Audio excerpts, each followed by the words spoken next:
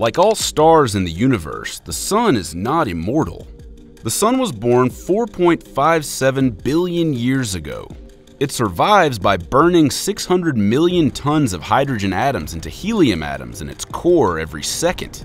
However, there is only a finite amount of hydrogen in the core of the Sun.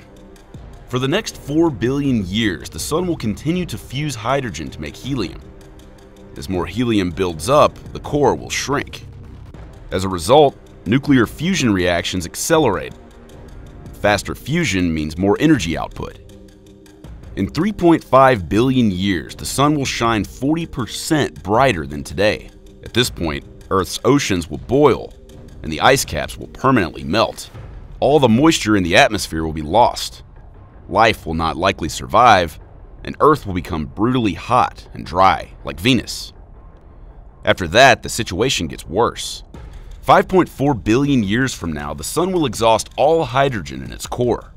The core will heat up and get extremely dense, but the sun's outer layer will expand a lot. It could expand big enough to swallow Mercury, Venus, and maybe even Earth. Even if it doesn't grow as far as the Earth, high temperatures will completely burn our planet. Once the sun has emptied its fuel reserves, it will become unstable, and as a result, it will begin to pulse.